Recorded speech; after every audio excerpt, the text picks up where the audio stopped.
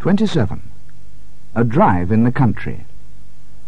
Joanne, Roger and Carl are driving in the country with Joanne's aunt. She's worried about Roger's driving. You mustn't drive so quickly, dear. We might have an accident. Don't worry, Aunt. Roger's a very good driver. We're not really going very fast anyway.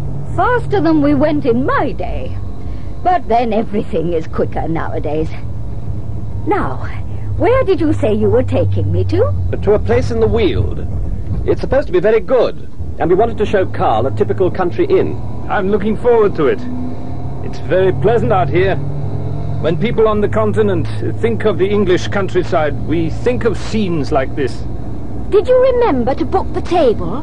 There's usually a crowd wherever you go at weekends at this time of year, let alone on a bank holiday. Yes, I did. It's very kind of you to entertain me.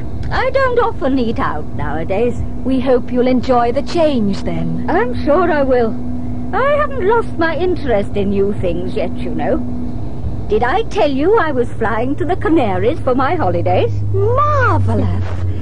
You haven't been abroad before, have you? No, I haven't. So I decided it was time I went. Here's a garage. We'd better pull in and fill up with petrol.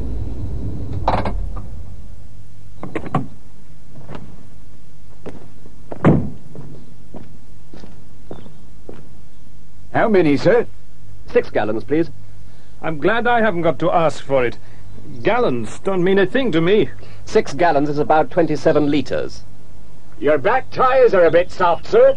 Shall I put some air in? Uh, yes, please.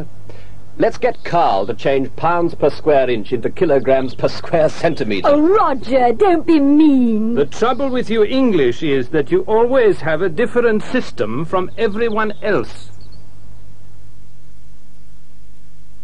Unit 27. Questions. Listen.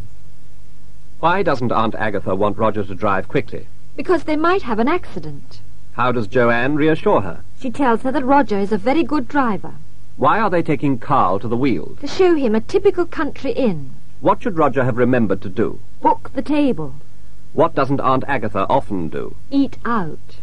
What is she doing for her holidays? Flying to the Canaries. What does the garage attendant tell Roger? That his back tyres are a bit soft. Now you give the answers. Why doesn't Aunt Agatha want Roger to drive quickly? Because they might have an accident. How does Joanne reassure her?